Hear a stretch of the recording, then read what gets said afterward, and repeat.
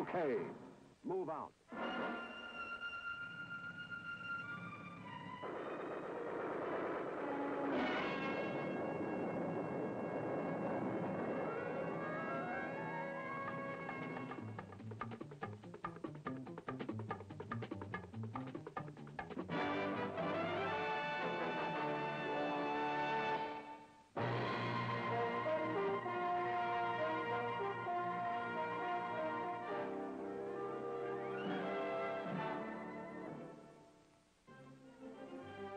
40 miles north of Fort Richardson, Alaska, he climbs down the side of a mountain. In Denmark, as a military exercise reaches its decisive moments, he fights off a counterattack. He experiences the tedium of repair and maintenance work essential to Okinawa's logistic services. And the breathtaking sensation of the free fall high above the jungles of Panama. Also knows that same country at ground level, where he fights its heat and humidity, and adds the machete to his equipment requirements. The snowshoe is another of his essential tools, for he is no stranger to the frigid winter of Norway. At the edge of a placid German field, he polishes his skills, seeking professional self-improvement, while at the same time, deep within a rugged German forest, he tests his own ability to survive and function in a rugged environment. On a Berlin street, dressed for show, he knows pride as he parades alongside his allies. But it is here that his actions are most significant, most symbolic. For here, he serves at freedom's outermost perimeter, within yards of a border etched in barbed wire. Here, his eyes must never close. He is the soldier of the United States Army, and he is accepting responsibilities that have global dimensions. For whatever demands history may make of him, he is ready round the world.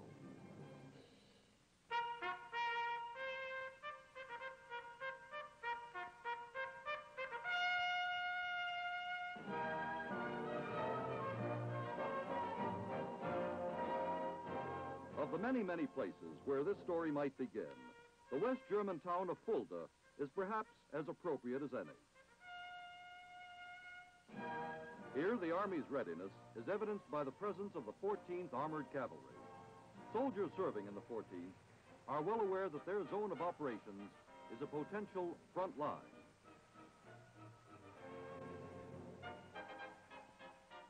But they're also aware that their presence diminishes that possibility.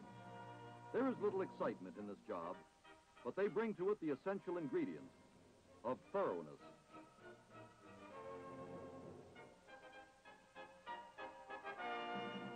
Their professionalism is motivated by doctrine as old as our nation. Doctrine best symbolized on a spot some 8,000 miles to the west. Washington, Jefferson, Roosevelt, Lincoln, South Dakota's Mount Rushmore National Monument is a reminder of words they spoke decades and even centuries ago, but which are no less alive and pertinent today. If we desire to secure peace, it must be known that we are at all times ready for war. Eternal vigilance is the price of liberty. Speak softly and carry a big stick. I think the necessity of being ready increases. Look to it.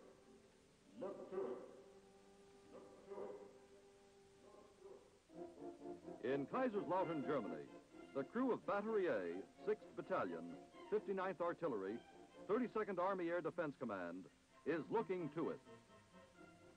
Evaluators test their readiness constantly, measuring it against a scale as exacting as the sweep second hand.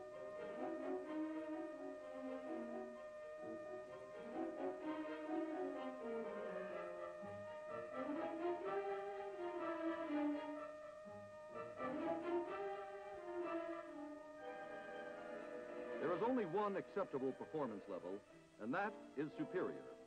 Practice and repetition are a way of life here, for perfection is something they must not only achieve, but also maintain. Elsewhere in Germany, radar men of the 3rd Armored Division are about to take a test described as the ultimate of its kind. The patches and trophies to be awarded will do much for their morale, but the test has much more purpose than a pat on the back. What it will really measure is readiness. Called the Ground Surveillance Qualification Course, it puts the radar man through his paces so that a realistic evaluation of his capabilities can be made. He must demonstrate that he can select a suitable site for operations and get his equipment into action with a minimum of time loss. The installation of the radar equipment is just one part of the picture, for he must also prove that he is skilled in its operation and in interpreting and evaluating the electronic information it feeds to him. His targets are varied. Tanks,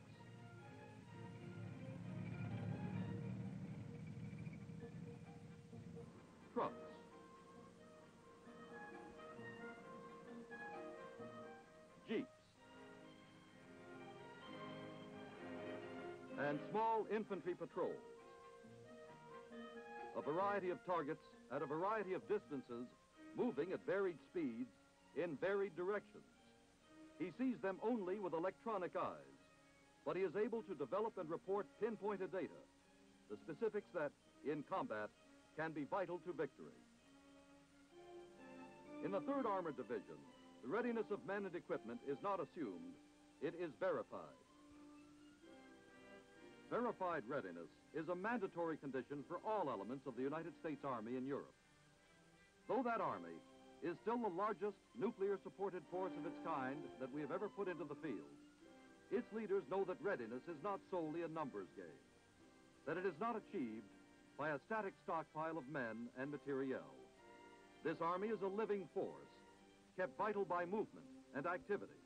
It is an army on the go.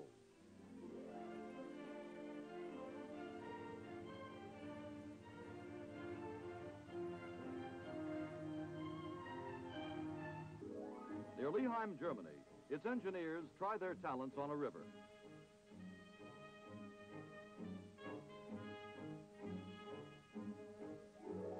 Rivers can be serious obstacles for a swiftly advancing armored force.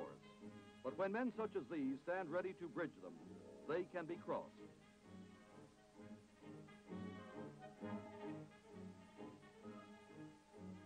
Equally ready to bridge space and obstacles with communications networks are the officers and men of the 7th Army's signal units.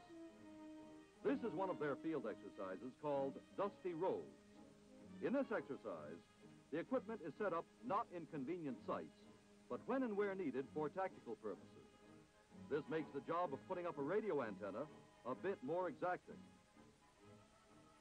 And the job of laying cable for telephone networks a lot more exhausting. And to round out fully the soldier's experience, an unpredictable element is added. Aggressors.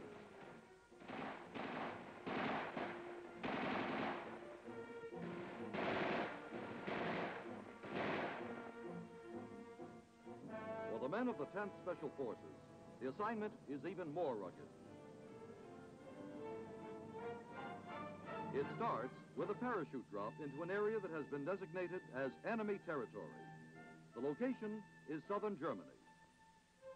And the season is winter. This is the area they will call home. From this base of operations, they will infiltrate, harass, observe, and perhaps most difficult, survive. These are men who face two enemies, one of which is nature. To fight effectively, they must first conquer the elements. Where skis can be used, troop movement is sometimes effortless.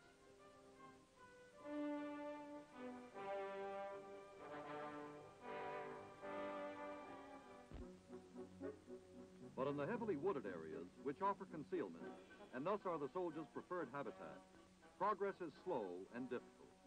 Here, forward movement is a matter of pure muscle power.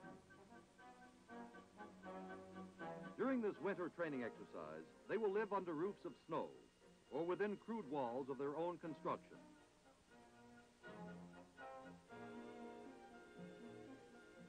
Above all, they will be functional. They will maintain communication links. They will plan and execute a variety of missions, demanding a variety of skills and techniques. They will obtain information, in this case, photographs of a simulated enemy prisoner of war camp.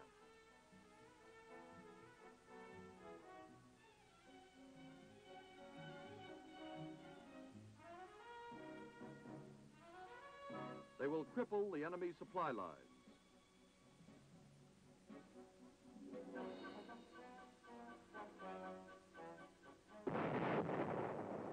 And they will fight him on his own ground. The 10th Special Forces. Label them ready. Elsewhere in Germany, another aspect of readiness can be illustrated. Below, a student body of 410 soldiers enrolled in the 7th Army's Non-Commissioned Officers Academy. Here, the challenge of tomorrow is being met, for here, new leaders are being developed. The Army's non-commissioned officers have traditionally set a high standard of excellence, and this school's four-week program of training and instruction is just one way in which 7th Army is ensuring that same high standard for the future.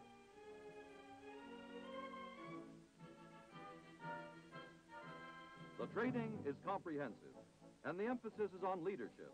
While the student is offered the occasional comfort of the classroom, much of the training qualifies as hard work. The subjects range from the correct way to lead a physical training exercise to the use of the map and the compass. Tactical problems in the field are covered with much animation. In this class, students serve as both defender and aggressor.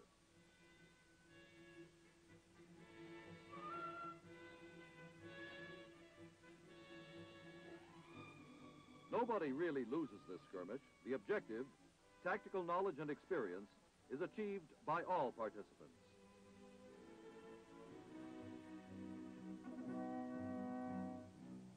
The airfield below, in Oberschleißheim, Germany, is used by the 7th Army's Aviation Training Center. On this field, experienced Army pilots are making a lot of bad helicopter landings. But this is not cause for alarm.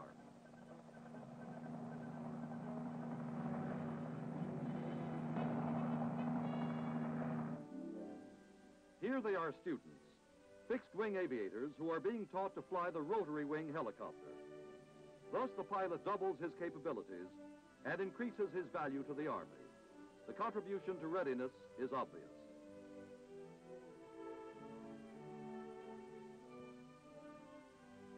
The instruction runs the full course from basic to advanced. Field service representatives from the manufacturer of the aircraft detail everything from the mechanics of the rotor blade assembly to the recommended pre-flight routine. Equipped with newly acquired knowledge, the pilot, used to traveling behind a propeller, gets what to him is a novel experience, being off the ground without going anyplace.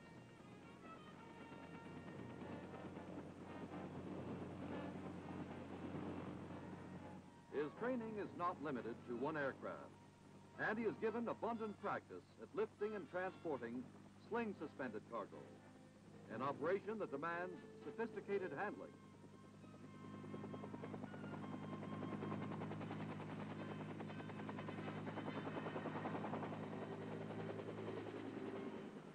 In many areas of the world, readiness must also be a collective concept, an image incorporating not only our own army, but also those of our allies. This is northern Italy. These military vehicles and weapons are participating in an exercise called Fallex.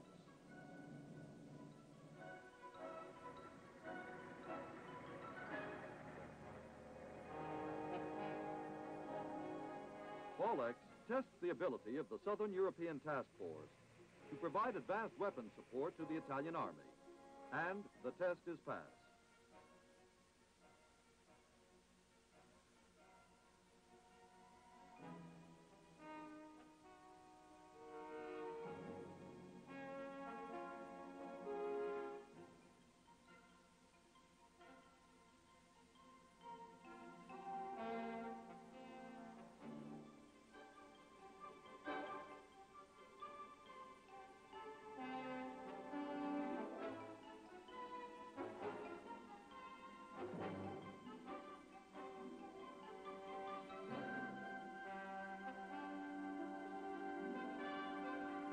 For the participating American soldier, Fallex provides valuable experience, another opportunity to polish his professionalism and evaluate his own ability to do his job. It also serves another practical purpose. It gives the American soldier an impressive view of the professional talents of a fellow soldier who wears a different uniform but is pledged to the same objectives.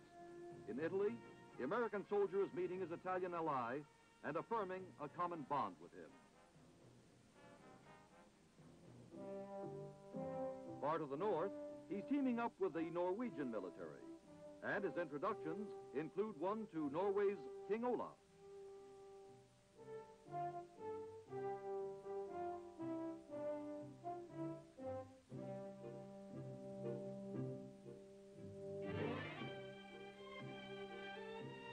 He is part of NATO exercises involving elements of United States Army Airborne and Infantry Divisions and an aviation company.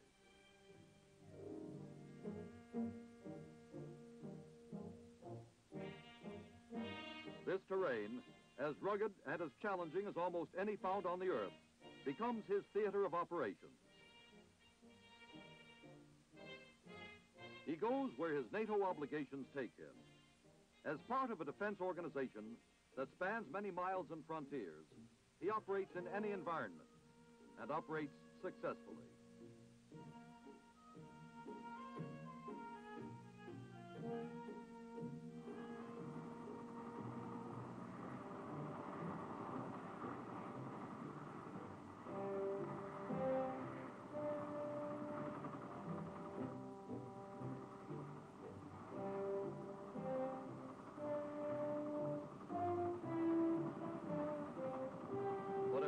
Presents him with the task of surviving and fighting in knee-deep snow, in temperatures that turn thermometers white with cold, it also allows him to sightsee in more accommodating areas. This is quiet Danish countryside, or what was quiet Danish countryside before 900 American soldiers of the 3rd Infantry Division simulated a beach landing on the coast not far from here. They are Task Force 130, aggressors, advancing toward an objective. The role is an unusual one for the United States Army soldier, but he will play it effectively. It is pre-established that his attack will meet with defeat. This Danish-American field exercise is primarily designed to give valuable experience to selected units of the Danish Army, and Task Force 130 serves as the testing block against which the Danish soldier can test his skills. The Danish victory is guaranteed, but it will not be unearned.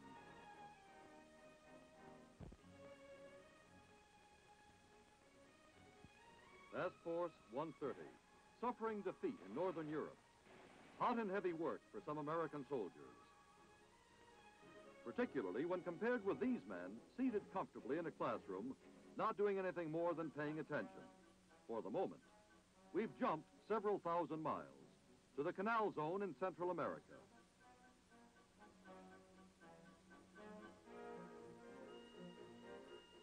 The students are all highly qualified, hand-picked United States Army parachutists.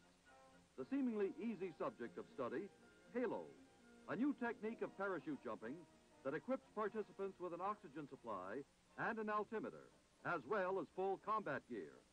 Later, they'll make good use of all three.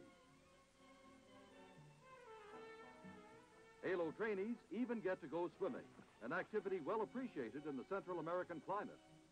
But there is a serious purpose behind it all. The instructors are Special Forces soldiers. Their work is not usually associated with fun and games, and Halo training eventually proves to be no exception.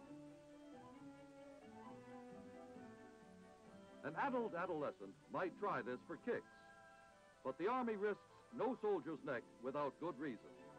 These men are perfecting the proper exit technique for leaving an aircraft with a body positioned for free fall.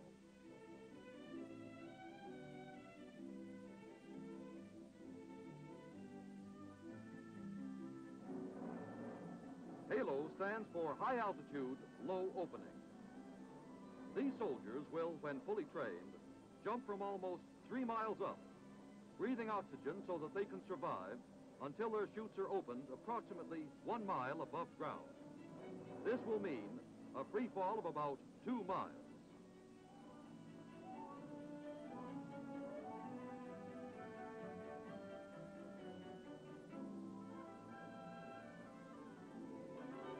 Halo jump techniques allow an aircraft to come in high enough to avoid visual detection. And because of the low altitude chute openings, the chutists stand an excellent chance of reaching the ground unobserved. The theme, as always, is readiness. The unconventional war has become the norm, and Halo's unconventional approach to airborne infiltration may well help win a battle tomorrow. This is grizzly bear country the Chugach Mountain Range in Alaska. It is wild and rugged, but no wilder and no more rugged than many areas of the globe which are occupied by unfriendly nations. So, like the grizzly, the United States Army soldier must call this home. This mountain and glacier training center adds still another piece to the total picture of Army worldwide readiness. The training given here hones the soldier's ability to fight over mountains and glaciers. If need be, the Army can match the grizzly's ferocity on his own home ground. In this school, the old label of foot soldier is once again applicable. As early as the second and third days, the trainee is building rope bridges across rivers and learning how to put them to use.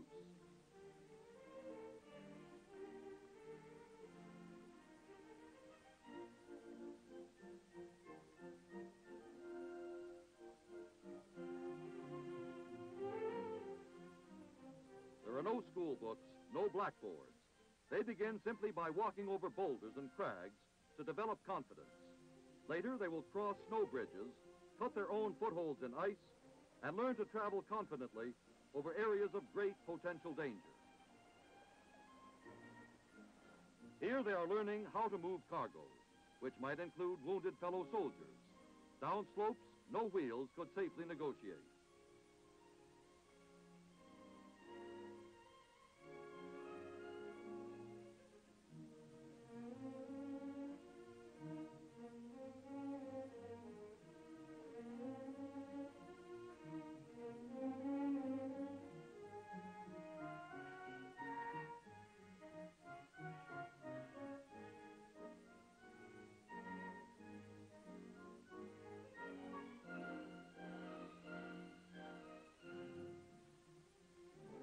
From Alaska's Chugach Range, these mountains are strangers to cold, snow, and ice. Here the norm is sunlight and balmy breezes. For this is Hawaii. But for the soldiers of this infantry brigade, Hawaii is not a mid-Pacific dreamland. It's a training ground, a place where they can practice and perfect the business of fighting a war. This is the conventional slug it out, move it forward work of the infantry. Not exotic, not unusual, not colorful. But if readiness can be said to have a backbone, this is it.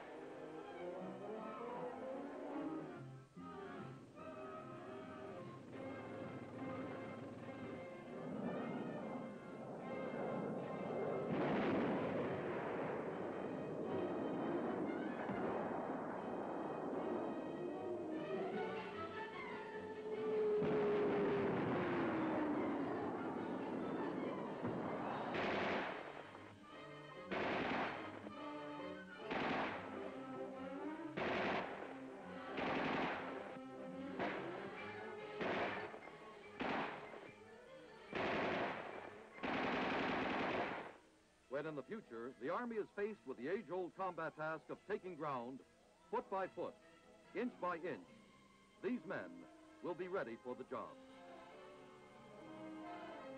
Okinawa, 350 miles east of the China mainland. It has been accurately labeled as the Army's supermarket of the Pacific.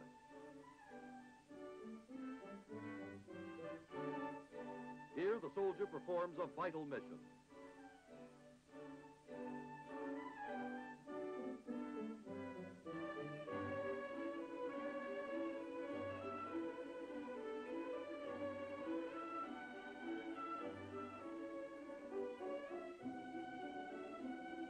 Important part of a repair and maintenance program that returns materiel to use.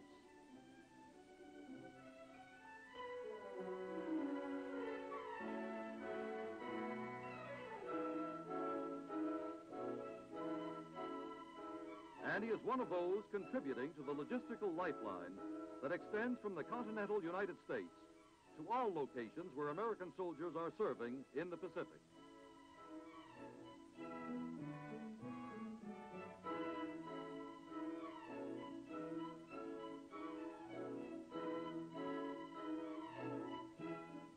North of Okinawa is Korea, where the American soldier has been keeping a watchful eye on the sharp edges of the communist world for almost two decades.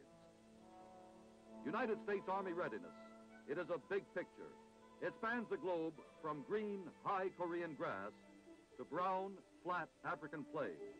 This is Asmara, Ethiopia, where a station in the Army's Strategic Communications Network is maintained. This network gives unity to a vast, worldwide military giant, bringing its many limbs under the direct control of the Commander-in-Chief. We are back in the continental United States, and these are the sights and sounds of America.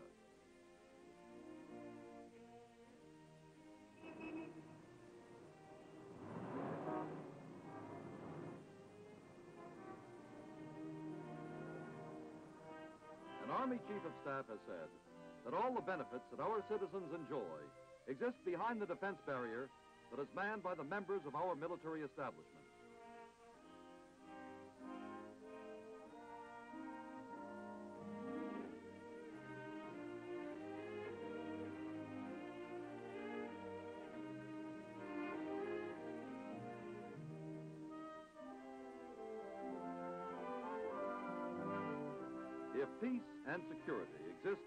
Elsewhere in the world, if we are free to work and live as we will in these locations, it is because in other places, in other climes, the United States Army soldier is doing his job and doing it well.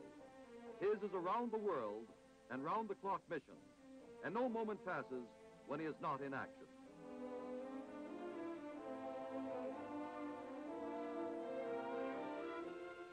He is proud of the talents and skills he possesses, but he is not resting on his laurels. When not fighting, he is training. When not training, he is learning. He knows that he serves at freedom's outermost perimeter, and that he will be among the first called upon to defend his country from any challenge.